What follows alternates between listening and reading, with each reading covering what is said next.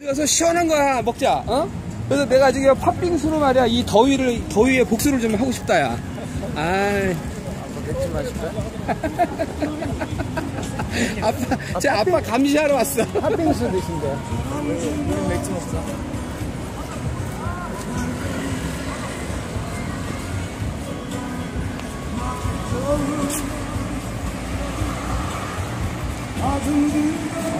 내가 그 왔을 때 지난달인가? 석주가 왔거든. 어, 어, 어. 그거 같은가? 어디? 저 1층. 그 뭔데? 그 뭐야? 아, 커피숍에. 커피숍이야? 그런 가지고 뭡니까? 여기 스타벅스 있다. 아, 여기가 여기 스타벅스.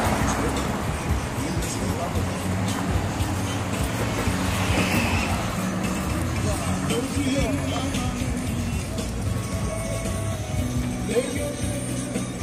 Thank